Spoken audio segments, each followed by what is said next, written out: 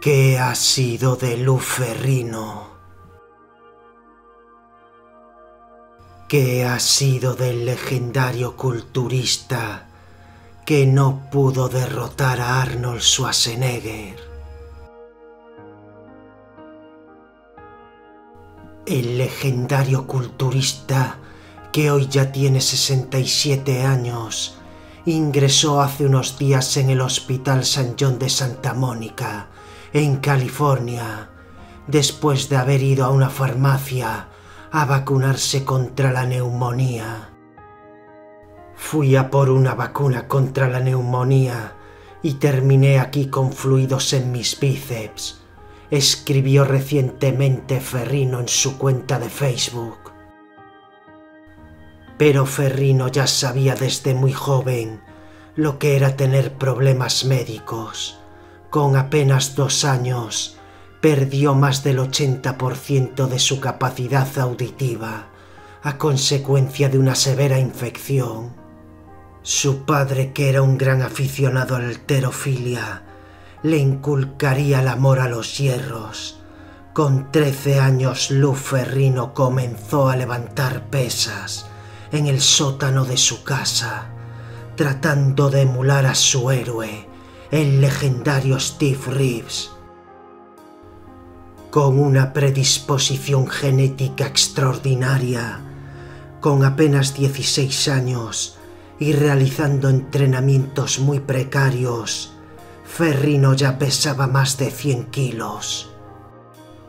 Motivado por los resultados, decide apuntarse a un gimnasio Lu progresa de manera increíble. Con 20 años ya sobrepasaba los 140 kilos.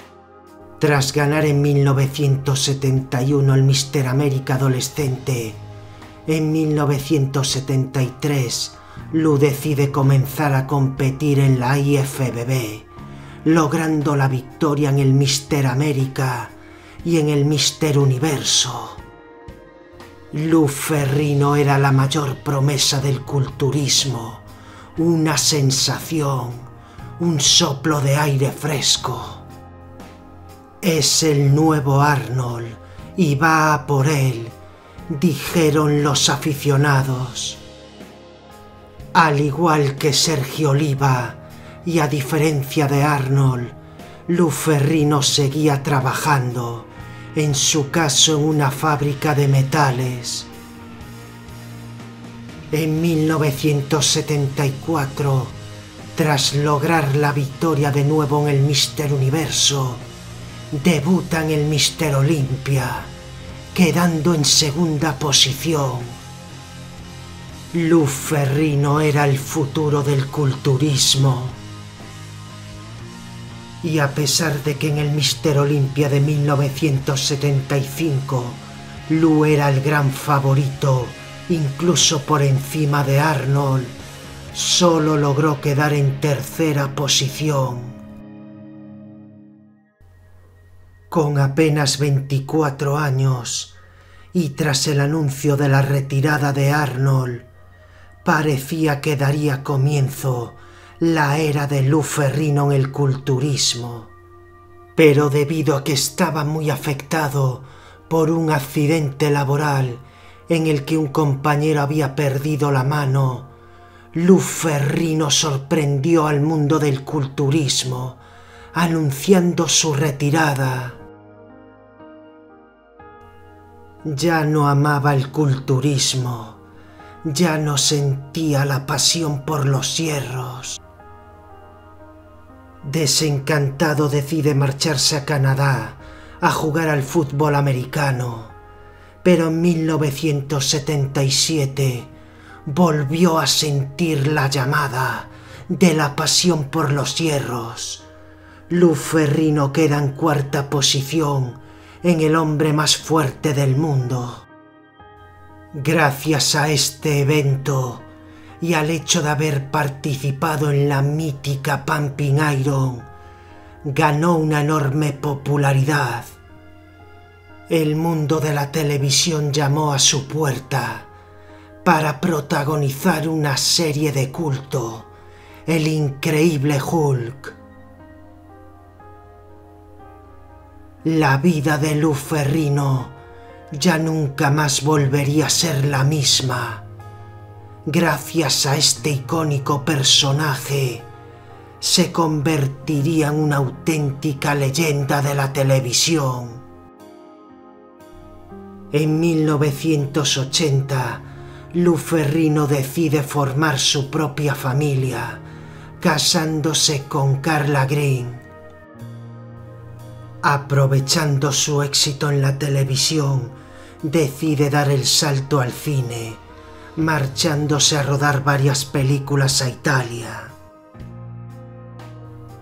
En 1988, el que se estaba convirtiendo en un embajador del culturismo gracias a su proyección en el cine y la televisión, se rompió un bíceps durante un rodaje. En 1989, el productor Menagen Golan lo convertiría en un hombre muy rico ofreciéndole el papel de Simbad el marino. Ferrino tuvo que bajar de casi 120 kilos a los 95 que pesó durante el rodaje, cerrando definitivamente su etapa como estrella de la televisión y del cine. Se despide para siempre con la muerte del increíble Hulk y vuelve a sentir la llamada de la pasión por los hierros. 17 años después de su retirada, decide volver al culturismo en 1992, participando en el Mister Olympia. Con 41 años, lucía un gran físico que le permitió quedar en decimosegunda posición viendo a Luferrino caminar sobre el entarimado del Mister Olimpia, los más nostálgicos viajaron al pasado. Al año siguiente, Lu volvió a participar en el Mister Olimpia, quedando en décima posición, a pesar de su avanzada edad, de haber permanecido demasiados años alejado de la competición y de competir en la década con más talento de la historia, Luferrino demostró que aún podía ser sumamente competitivo. Ver a un mito de la Golden Age competir con los gigantes de los 90 fue algo maravilloso. Luke en esta década se había convertido en un prestigioso entrenador personal, se despediría para siempre del culturismo en 1994, tras quedar segundo en el Master Olympia. Luke entró en el Salón de la Fama de la IFBB en el año 2003. Fue un gigante de más de un metro noventa de altura que compitió con 130 kilos el que ha sido uno de los mayores difusores del culturismo, a pesar de su reciente ingreso, sigue entrenando, sigue sintiendo la pasión por los hierros. Voy a estar bien, pero es importante vigilar a la persona que te pone la vacuna y asegurarte no solo de que limpie correctamente el área de la inyección, sino también que veas cuando saca la aguja del paquete. Su esposa desde hace casi 40 años dijo, regresó de la farmacia y le dolía el brazo, y se puso peor y peor, así que tuvo que ir al hospital. Lo conectaron a toda clase de sueros y le dieron tratamiento y se le bajó, ya está fuera, pero no fue una experiencia muy agradable.